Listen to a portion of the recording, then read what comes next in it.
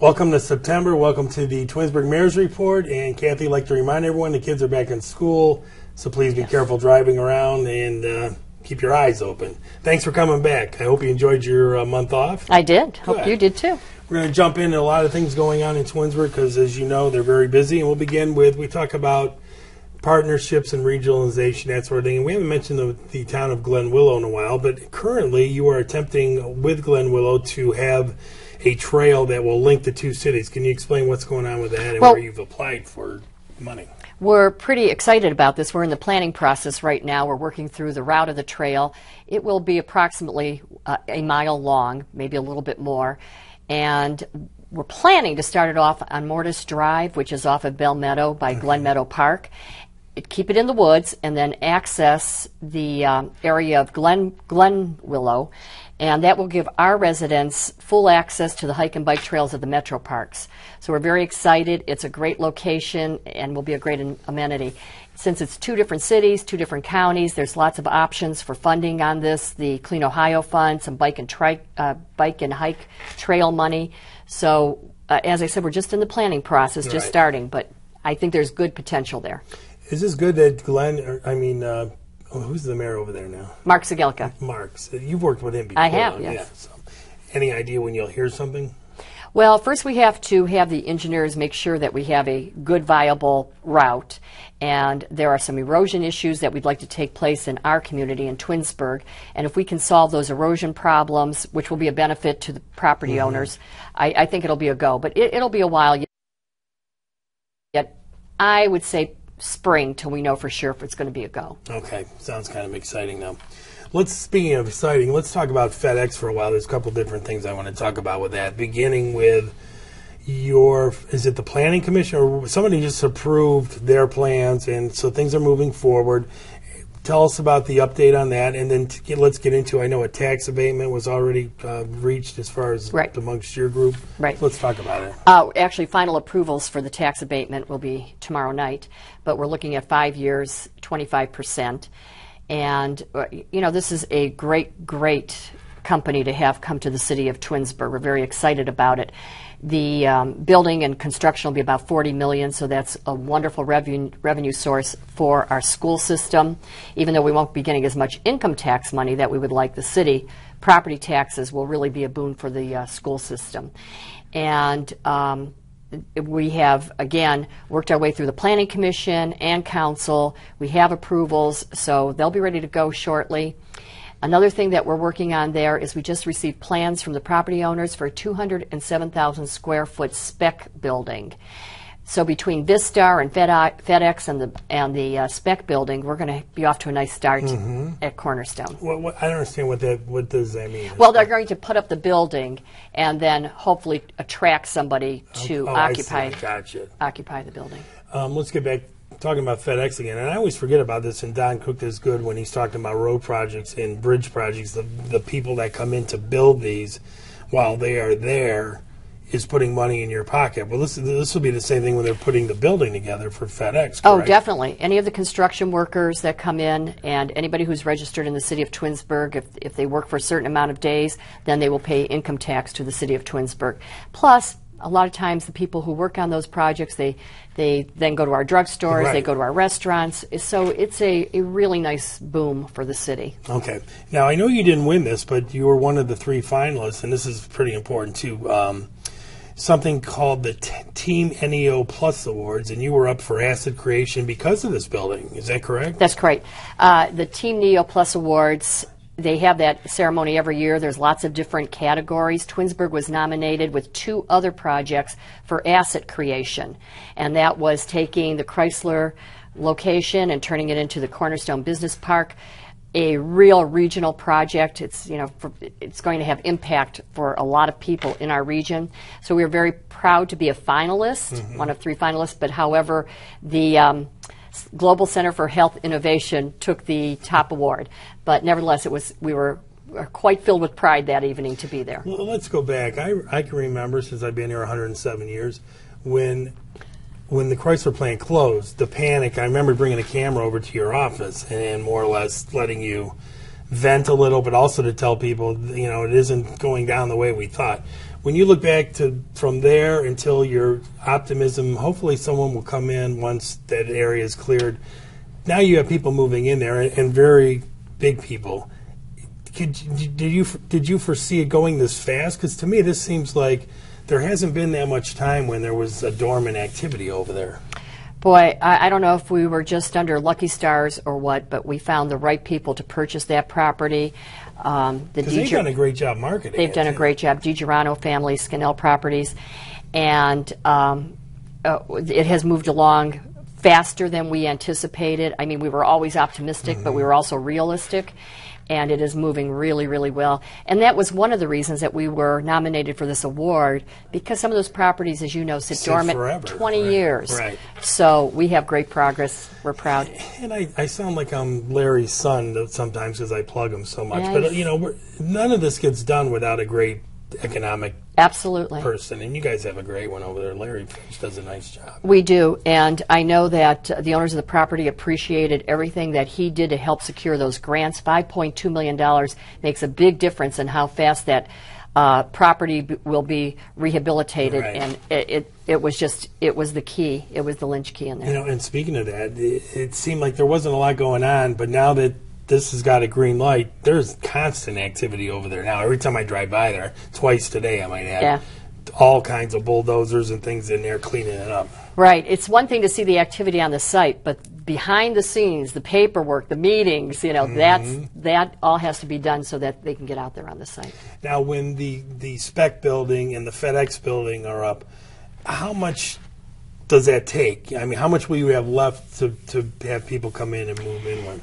Well, let's see, we have 40, 30, that's 70, there's about 100, uh, probably about maybe 80. So there's there's maybe 80 to 100 acres left. Oh, good. So we have a lot of property left. But this could be the domino effect you're looking for. I, I believe that. I think even Vistar, they were the catalyst Right. for other people to look at that property and see how it could be developed. And um, once the ball gets rolling, I think it'll go pretty quickly now. Good. Let's st- let's stay on the area of new things going up, and it's not on my list here. But recently, I attended a uh, ribbon cutting with you over at the end of Highland Road and 91 Heartland, the, the new facility there, which is an ideal place for that, right next to the Cleveland Clinic and down the road from University Hospital. Gorgeous building, by the way. I mean, your thoughts on? They were very pleased as the cooperation that they received from you and the administration as far as not having to deal with a lot of red tape. Were you happy also on your end as far as the finished product? Well, this is a skilled nursing and rehabilitation center, and it is just first class. I was so impressed with not just the building itself, but the people who are running it. And we could see that it was going to be a really good organization because of the people we dealt with during the construction. Um, you know, I, I know they complimented the city that we were cooperative, but that cooperation comes because they provided everything that we needed to make the project move s- smoothly, and it is just it's it's a wonderful, wonderful facility, and I hope people will stop in and take a look at it. I know they have an open house coming. Looking back, though, bef- you know now you have the Cleveland Clinic and, and all these other hospital-related facilities here. What a perfect time for a place like that, and, and proximity-wise, perfect also. Uh, You probably remember years ago, 15 years ago, we started talking about having a health and education corridor Yeah. along State Route 91, especially in Twinsburg. And we are really, really making it happen with the Kent State Regional Campus, uh, Cleveland Clinic, University Hospital, DaVita Dialysis, the Heartland of Twinsburg, and so many other medical related companies like AssuraMed and, and BMS.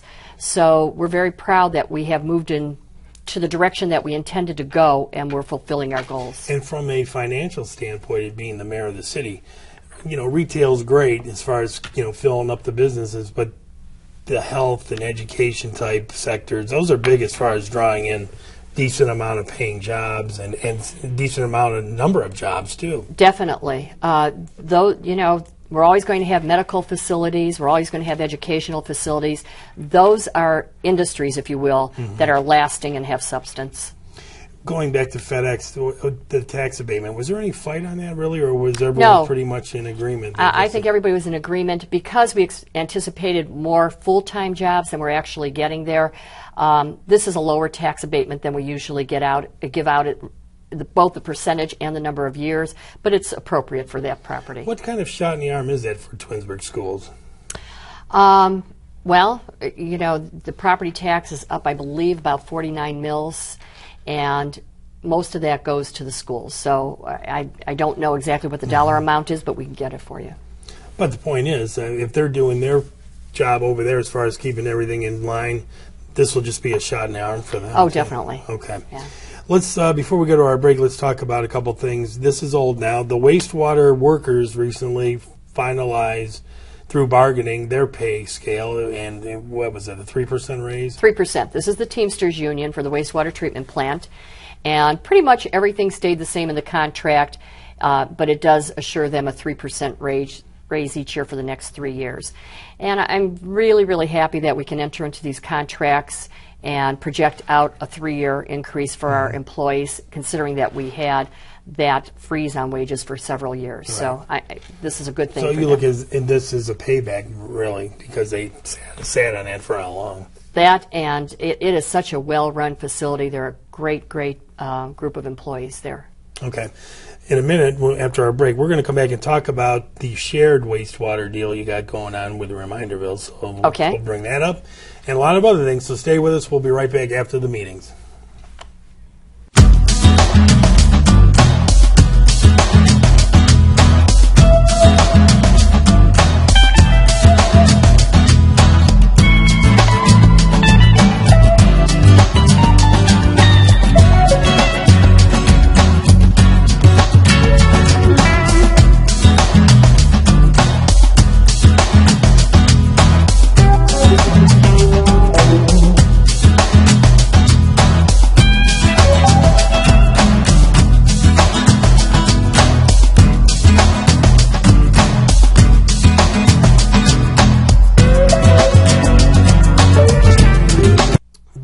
Procop from Twinsburg, and this is kind of exciting. And again, we're talking about being neighborly. You're helping out the village of Reminderville as far as some of their wastewater issues, that sort of thing. Let's talk about how that all came about and what the county's role, because I think they have something to do with this also. Uh, Department of Environmental Services, DOES, Summit County, operates that particular plant. It's the Aurora plant. And it's had some EPA violations over the years. It's older, it requires a lot of maintenance, and it's just not functioning the way that it should. We've known that for years. We talked for years about taking that uh, effluent and treating it, sending it over to Twinsburg to our wastewater treatment plant. And we have finally negotiated the contract um, the contract is they are purchasing in bulk 650,000 gallons per day of capacity from the city of Twinsburg. So you have room for this. Oh, we absolutely do. They're paying $1.9 million for the capacity. Um, we will also charge one and a half times non residents for the sewer rates, their quarterly billing. And uh, DOES will be contributing 11% to our capital projects if they're directly affected um, or related to, to that uh, plant. So it's a win win situation for the environment, for DOES, for the city of Twinsburg.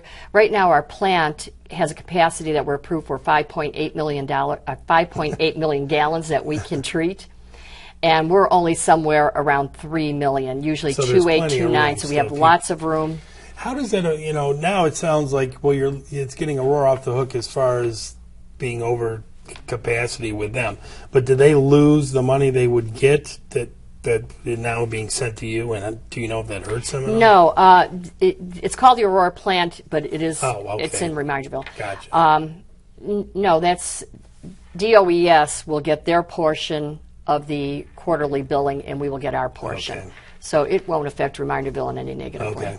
And, uh, and Sam's probably happy now that we know it. Our wastewater can be treated and taken care of with some room.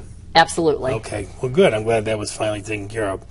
Let's talk about um, these are upcoming events now. Let me talk about one that we've had in the pike for quite a while. That's the the uh, Freedom 5K walk to bring the big uh, wall over next Cost year. of Freedom. Cost of Freedom in 2015. I guess what we want to plug the date. This year's walk is September 14th, right in the middle of this month.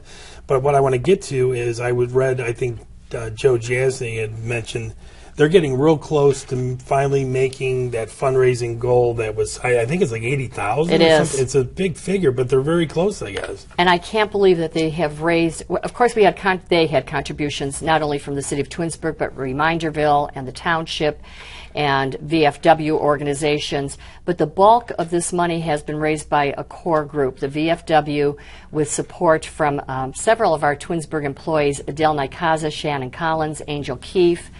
And uh, S- Sandy Panzik, they really have put so much time and effort into fundraising.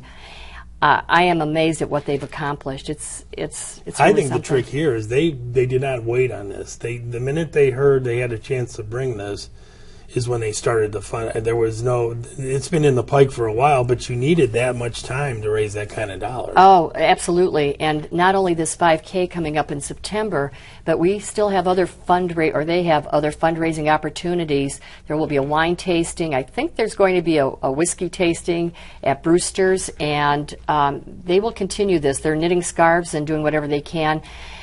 You know, it's it, we have the goal of eighty thousand dollars, but in the end, we really don't know what it's going to cost. It could be more than that because it is an enormous project and it's a big weekend. Do you think the average resident, Twinsburg or whoever, doesn't really fully understand how big this this whole thing is? Oh, I have no doubt about it because I certainly didn't have a concept of it till I finally went online, did some research. They showed us brochures, and um, the displays that they're going to have there are just amazing. Plus, opening ceremonies, closing ceremonies, speaking opportunities, educational pieces. So it is going to be a five day intensive uh, cost of freedom tribute. And, and as you sit in the quote background, because really this group has spearheaded this, you get to reap the benefits because I think this is going to be a huge feather in the cap that you're one of the few cities that pulled off bringing this in. Because I, again, I don't think the average resident knows how big a deal this is. That's true. In fact, it's such a big deal that when the VFW applied for a date, the date was two years away from their application because it goes all over the country. And um, you have to get in, in line to be able to be the recipient and have the honor of having it in your town. It's going to be exciting. It will be. to say the least. All right, a couple other things I want to bring up. Um, let's go the end of summer again. It's the big dog chance for the dogs to get out and swim. Here we go. let's bring that up and tell us how the year went as far as the pool goes. Okay, the, the pool was great because, as you know, we opened it up to non-residents. This was our first year. Right. We had the concession stand was opened up again. Was so that a success? It was. Uh, we had some brand new chairs. We had a new water feature. The slide was all redone. Mm-hmm. It looks like a brand new pool, and residents enjoyed it. We had we had a lot of rainy weather, but we had a Right. lot. We had uh, at least swimming w- weather, maybe not real hot, but uh, it was never overcrowded. It was it, it ran really well. And thank you, Brandon Burns, our aquatics director. What a great guy, and he has great business mind, and he also has a really good grasp of what the residents want and And you'll keep it open to uh, non-residents again next year. we will. year? It worked out very well, so that will happen. And you're right, we have the doggy swim coming up, the doggy paddle. Which and I'm looking uh, for the date. It's The September 6th. 6th. Yep.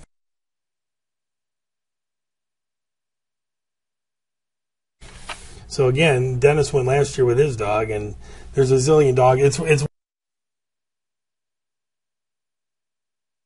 worth seeing. That's for sure. It's always exciting Right. and fun for them. So that again is uh, September sixth. Update us now on all the improvements that were made. I don't know how bad the weather was as far as the golf course goes, but as far as Gleneagles, a lot of improvements done over there. Lots of improvements. Um,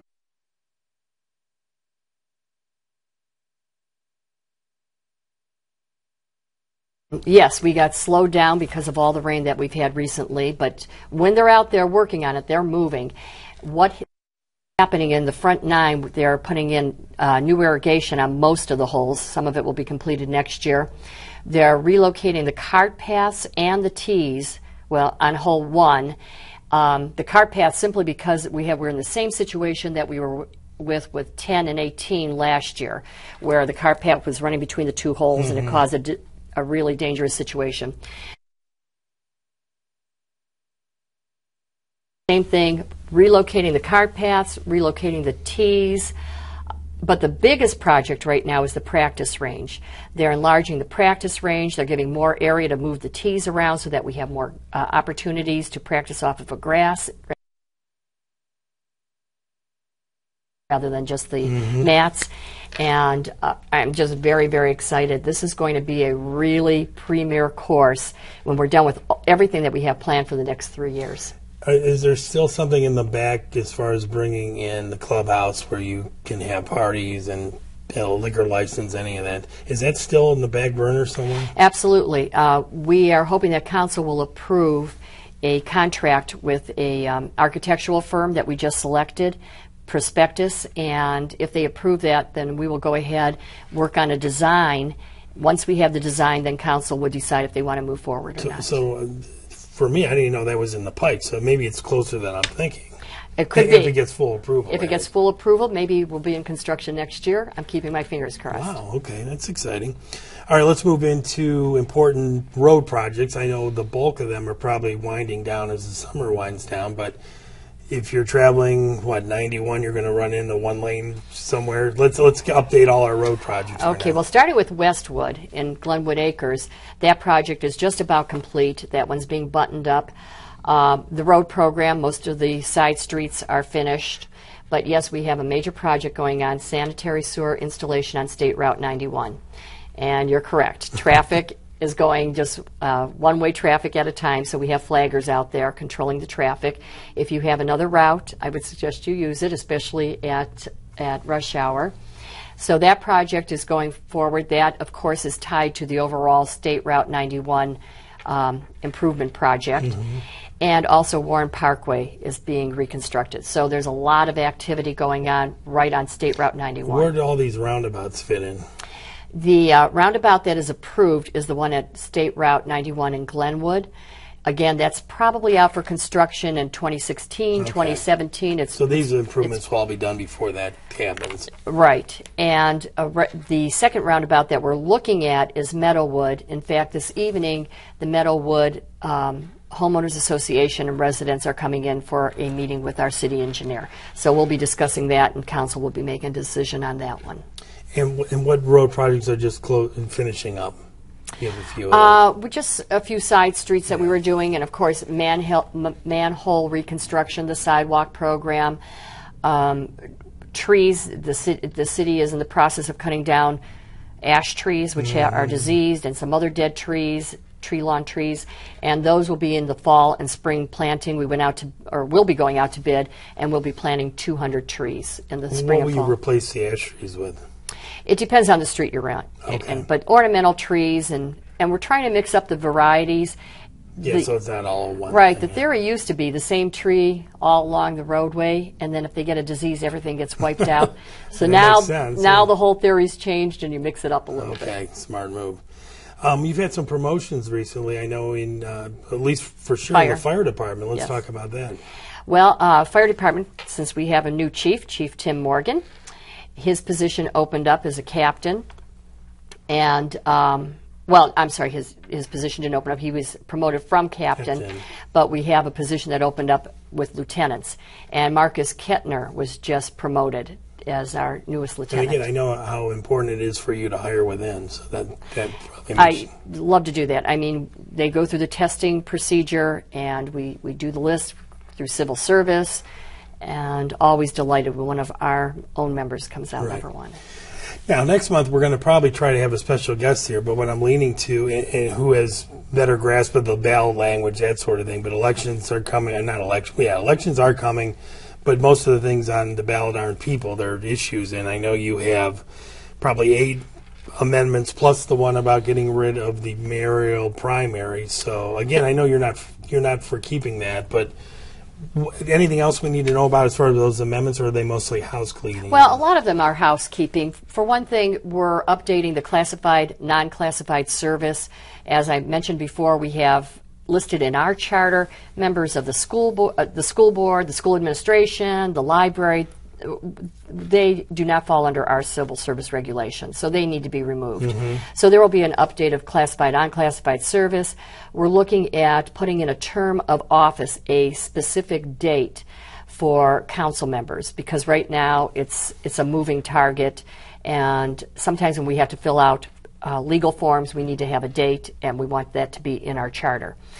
So those are a few things. We're talking about the meetings, an update on the definition of the bar- Parks and Recreation Department. Um, we will be asking the residents again if they would like to remove the primary, which I'm hopeful that will happen. Well, let me get your thoughts because I read in the paper for someone who seems to be in favor of this argument has been no one should be elected that gets less than 50% of the popular vote. What, what are your thoughts on this? I, I'm, I don't even understand that. A majority is a majority. But I will say that we, even before we had a primary election, I don't believe that there was any mayor ever elected with less than 50% of the vote. I know that I certainly never was, and I and or Karabek, and I don't know, but before that, but. Um, but a majority is a, is a majority as far as the And res- do you still consider this? I I brought it up before. Not only time consuming as far as having to do kind of two, uh, you know, campaigns, but it takes you away from what you really are there to be doing. Correct, or And- and that- the incumbent. And that's true. Whether it's a, a mayor uh, going for reelection or it's a council member, it's a time-consuming process, and I, I just think an unnecessary process. We are a nonpartisan community, and that's the bottom line. Mm-hmm. We really don't need a primary election. But nevertheless, that question will be before the voters again. Um, And who do you think we can bring over to describe some well, of this? to I- everyone? and I'm glad you brought that up, 7A01, and I would like to suggest that we have Dave Maistros at our Your next law director. at our law director, and he will go over the changes. I can go over them with you, Mm-hmm. but I know that there'd be some technical questions, and, and he could answer those better than I can. Okay, we'll have him by next month for at least for half the show. As we wind things down, tell us about the anyone that takes a visit over to your place over there to drop something off or pick something up may notice that the lobby is completely under construction. It now, is. correct? It's just about done. Uh, we have a few things. We're still working on the the restrooms. We're waiting for some. We're waiting for mirrors to come in. We're waiting for d- door strikes to come in. So when when all of that is uh, delivered, we'll be finishing up the restrooms. We're also waiting for several other items, but overall, it's it's a great addition, and the reason that we did it, first and foremost, is safety of our employees. Unfortunately, as you know, the schools had to go to those airlocks and, and safety centers for their employees. Um, basically, it's the same thing at City It- Hall. it's a sad commentary, but in, in this day and age, a must. Right. So while we're doing that, while we made those changes, we're updating all of our ADA requirements. So it'll benefit everybody. Okay. And do you have any um, foreseeable deadline when you hope that's done by? Uh, well, I was hoping by the first council meeting back from recess, which is August 26th, but um, as I said, well, there's some delay in some of the materials, so till we till we have everything in place, I would say another month. Okay. And as we wind down, let's have an update on Corbett Farm in that area. Okay. Corbett Farm, uh, sales are going along very well. If you've seen the type of homes they're putting up, they're just gorgeous. And they have just started their phase two. So it's moving along great. What price range are those going for? You know, I, threes. I, yes, oh, I know that they're in the threes, and, and I believe that's the starting point for them. Do you, do you feel that there's still a big need for that kind of housing out here? Are you having a, a lot of people interested? I'm beginning to think more than ever. We Right. have lots of beginner homes, we have lots of condominiums, we have some senior areas such as Belmar and Arbor Glen. So I think young families and um, two income families are looking for that kind of property. Right. I know that there's some great houses going in also off of Liberty Road. So we're a very desirable community. Okay, and as we real quickly, I saw that the the figures came out. The property values are going down actually in Twinsburg. Do you blame that on the? They're, they're saying condominiums. Well, uh, absolutely. I talked to some real t- real estate people, two different types of real estate people this weekend, and they all confirmed that it is in the condos, but also that it's throughout Summit Yeah, County, throughout the entire Right. region, and there it's a catch up from what happened with the economy a few years ago. Okay. Again, special guest next month. We'll talk about those ballot items and other uh, things that are coming up. Thanks for coming by. Welcome back. Excellent. Thank you.